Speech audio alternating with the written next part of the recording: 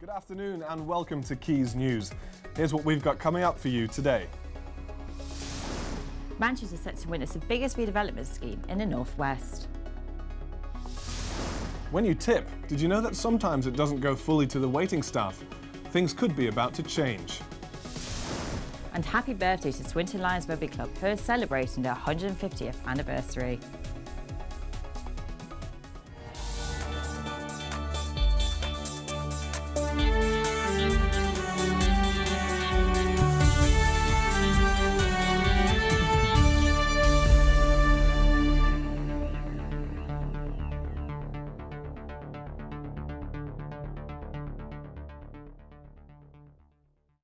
Volunteers gathered in the Trafford Centre at midnight to take part in a terrorism training exercise.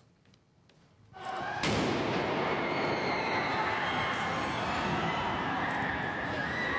mock terrorism attack featured a man dressed in all black entering the food court and detonating an explosive. Volunteers were given up to given makeup to resemble horrific injuries. The exercise, which took five months to plan, was a test run for Greater Manchester Police and Northwest Counter-Terrorism Unit and the Northwest Ambulance. The biggest redevelopment scheme in the Northwest has arrived in Manchester, changing the city centre over the next 10 years. Our reporter, Jem O'Reilly, went to find out more.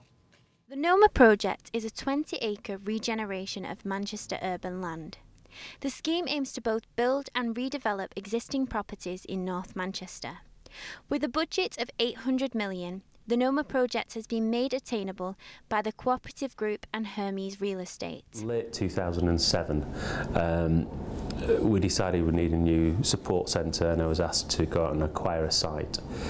The acquisition of that site meant we ended up with around 20 acres in and around our existing estate and we then worked with the City Council to bring forward a massive regeneration project. We've always been based in Manchester.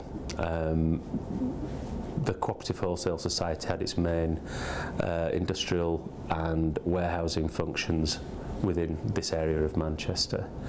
And it's our heartland, I guess, is the honest answer, and there's a real emotional attachment to the Northwest. When the cooperative so, group first planned a relocation of their existing estate, they looked at several areas of the Northwest. With the greater interconnectivity in Manchester, it meant that they stayed in the city centre. With tram lines and electrified railway lines, it meant that projects like Noma had a greater talent pool, appealing to all businesses of all sectors. Because actually keeping and retaining talent is really, really important to any business. In December 2015, Noma teamed with Manchester City Council to introduce Manchester's first public square. Sadler's Yard is designed to showcase the city's entertainment and exhibitions.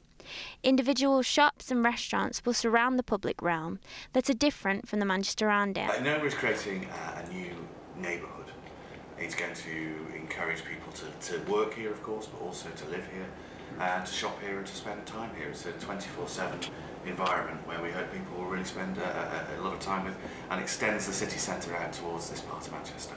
A place to live, work, create and innovate. Jem O'Reilly, Quays News. When life gives you lemons, you are supposed to make lemonade. But what's behind the images of the citrus fruit being projected around Manchester? The iconic Stone Roses logo has been appearing on digital billboards across the city. Last November, the band advertised their gigs at the Etihad Stadium through posters in shop windows. So far, the band have kept the juicy details to themselves. Proposed law changes to tipping waiters and bartenders have been stirring up controversy. There is a cocktail of opinions on how to change a tipping policy would shake up the business. Our reporter Alexandra Todorova went to find out more.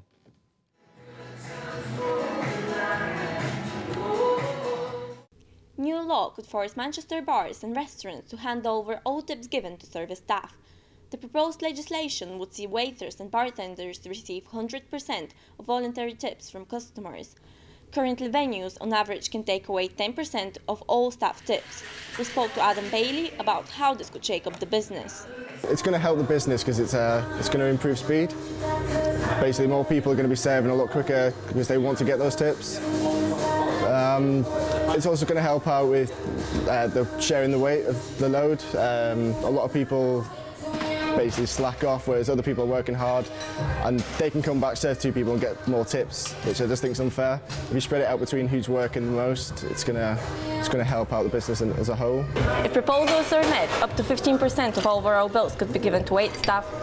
However, some feel the change could be unfair to workers. I would stay with the way it is because I feel like everyone gets their own tips. But I, I don't think it's a bad thing because it's still shared amongst everyone and everyone will still work hard to get their tips out. So, What does the public think about this?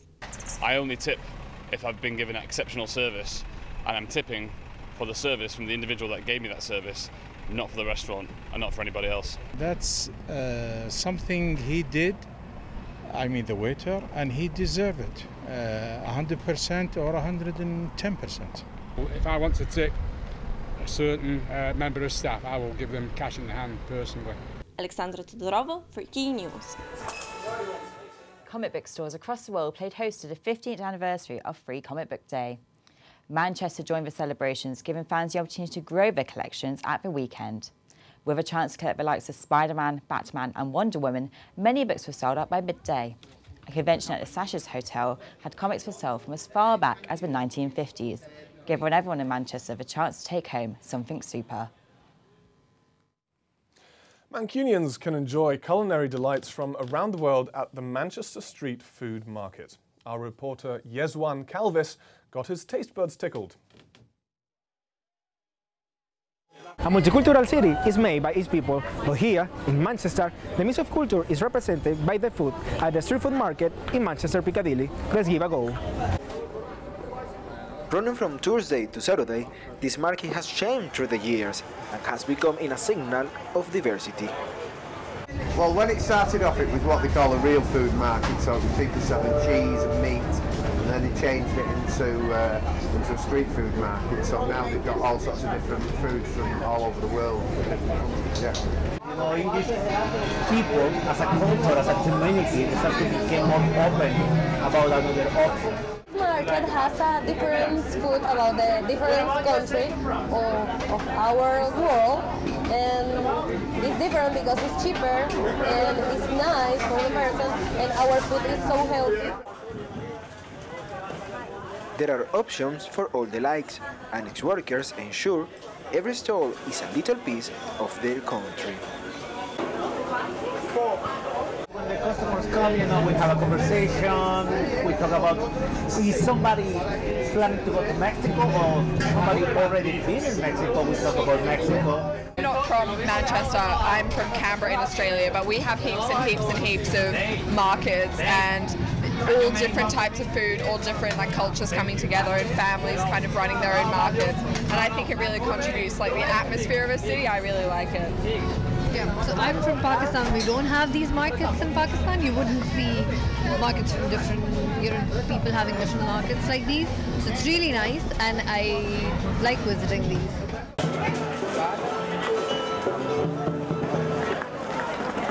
The best gastronomy from one continent to another is here, right in the city center of Manchester. Come over and enjoy yourself. Jesuan Calvis, Quays News.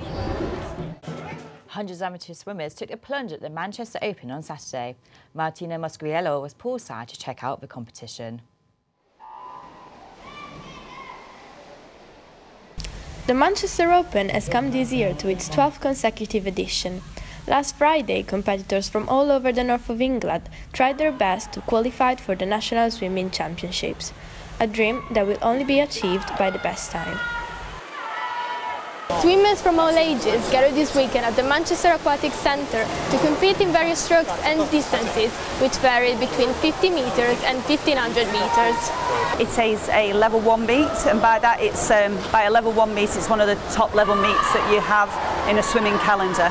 Uh, swimmers that are achieving quite fast times, and most of the swimmers here will be looking to achieve like regional times or even national times. Backstroke, butterfly, breaststroke and freestyle were all races on the day.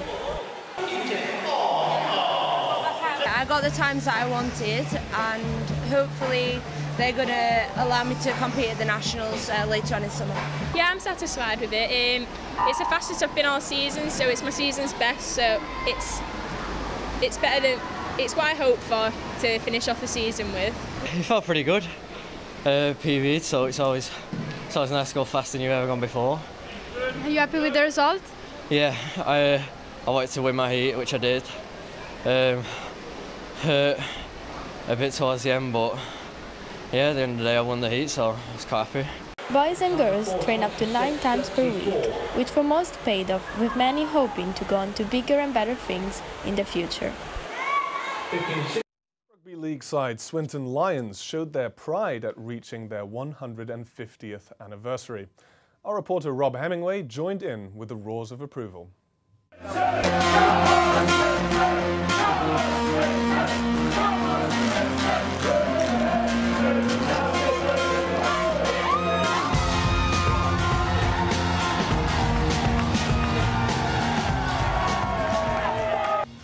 Hello, I'm Rob Hemingway here for Quays News. Today there is a rugby match going on behind me. We've got Swinton Lions playing against Whitehaven. However, that is not the only reason that we're here today. We are of course celebrating the 150th anniversary of Swinton Lions rugby team. and we've seen we've come here to see what the fuss is about. yes, we're buzzing. We're buzzing.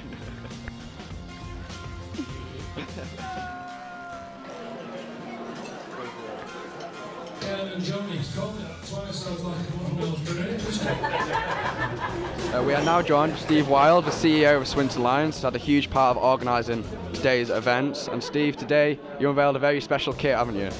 That's right. This is our 150th anniversary uh, kit. Um, a very special kit based on our original colours, which were all navy blue. Because we've always played in blue, but uh, all navy blue goes right back to the very beginning. Um, the kit itself not only got the, the new logo, but um, the uh, 150th anniversary logo, which is based on the original lion insignia, dating back to the mid 1870s. And uh, within the fabric of the shirt, there's the, there's the names of 150 famous players, um, each representing a relevant year from 1866 right through to the right through to the present day. So there's some really famous names on that.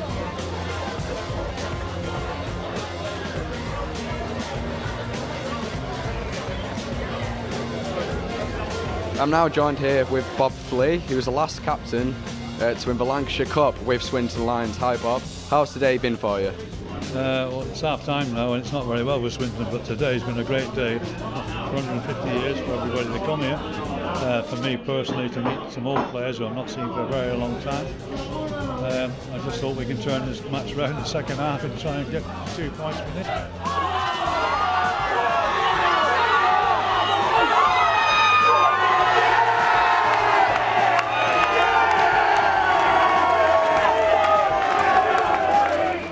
We are now joined by a very special fan Swinton Lions, been to over a thousand consecutive matches for the team and got recognised for his achievement today with a lifelong membership. How has today been for you? Telling about 20 minutes. As the score stands right now, Swinton are losing by four points, but they've brought it back. Do you think they'll get it back? I hope so. You know, we- we've not played too well first half, certainly better second half, you know, so it's looking promising. It's always the optimist if you're a Swinton fan. And what's it like to be recognised by the club with a lifelong membership? Well, I think the first time in 50 years I was speechless. And that's saying something if I'm speechless. We've just had the final whistle here, and after Swinton were trailing by quite a margin at half time, we've managed to come back and win 32 26. It's been a great way to round up the 150th anniversary of Swinton Lions. I'm Rob Hemingway, thank you. Now, you need not worry, that golden orb in the sky was the sun, but will it be here to stay? Jess Tiswell has the latest weather. weekend and lovely day yesterday. Today we are likely to see some showers into the afternoon and possibly tomorrow as well. However, Thursday the sun should come out again with temperatures rising, taking us into the weekend. Have a lovely day.